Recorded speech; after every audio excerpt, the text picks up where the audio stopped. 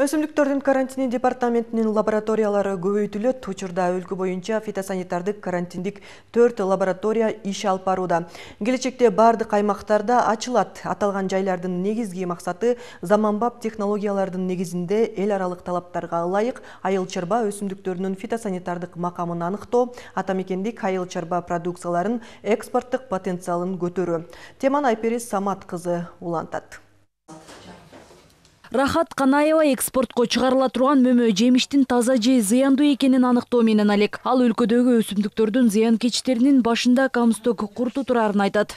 Ошондой эле алма мөмө жегичтер чыгат. Өсүмдүктөрдүн баарын текшеребиз. Алардын ичинен ошо жүзүмдү бул жүзүмдү караган жүзүмдөн болсо бизде чербес курту чыгып калышы мүмкүн.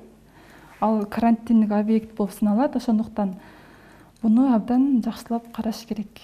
Андан кийин лабораториянын адистери зыянкечтердин бар же жок экени боюнча протокол толтурушат анын негизинде гана экспортчулар уруксат кагаз алуулары мүмкүн эгер продукциялар талапка ылайык келбесе башка мамлекетке сатууга тыюу салынат өз жүзүнүн управлениялары бар жети областтачы региондорду бүт кыдырып кайсыл жерде кандай зыяндуу организмдер бар экенин таркалганын изилдеп келишет да.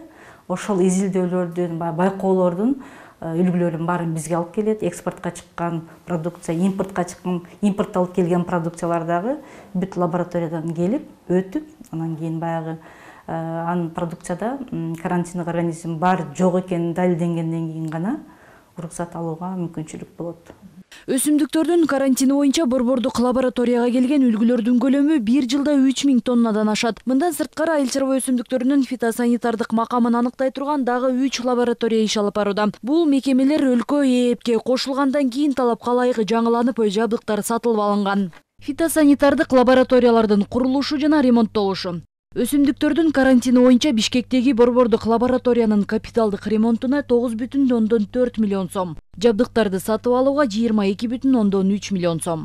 Өсүмдүктөрдүн карантини боюнча оштогу лабораториянын курулушуна он сегиз бүтүн ондон тогуз миллион сом жабдыктарды сатып алууга жыйырма эки бүтүн ондон үч миллион сом.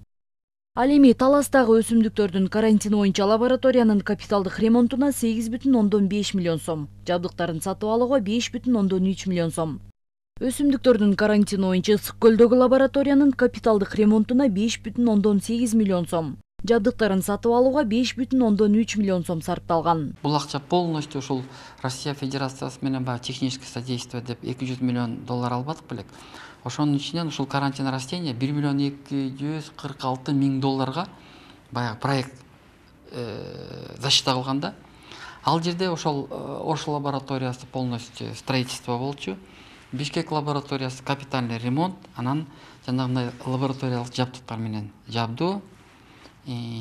Болчу да бул иштин баары аткарылды бүгүнкү күндө ал эми талас жана ысык көл облустарындагы өсүмдүктөрдүн карантини боюнча лабораторияларга өкмөттөн жыйырма миллиондой сом бөлүнгөн. Аталган каражатка эски имараттар лабораторияга ылайык ремонттолуп жабдыктар алынган. Азыр жогоруда аталган төрт лаборатория берип жаткан фитосанитардык уруксат кагазды бажы биримдигиндеги өлкөлөр гана эмес дүйнөдөгү жетимиш мамлекет тааныйт мунун натыйжасында өлкө продукцияларын башка мамлекеттерге кенен чыгарууга жетишти. Алсак өткөн жылы кыргызстандын тарыхында биринчи жолу бир миллион жүз миң тоннадан ашык айыл чарба продукциялары анын көбү картошка. Мисалы республикада жылына бир миллион үч жүз миң тоннанын тегерегинде картошка казылып алынат. Анын жарымы экспорттолууда өзүңүздөр билесиздер картошкада дагы бир топ ошол экспорт багытында проблемалар болгон. Картошкада бир э, оору бар баягы нематода деген.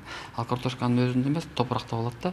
Ошол нематонун айынан казак республикасы границаны жаап бизди запрет кылган. Бүгүнкү күндө ал проблеманын баары чечилген.